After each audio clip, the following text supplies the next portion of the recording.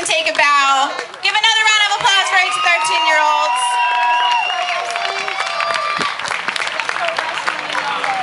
And now we're going to get to our 14-18-year-olds, and I'm going to pass the mic over to Steve Kurtz. So get ready for some more entertainment, and here's Steve.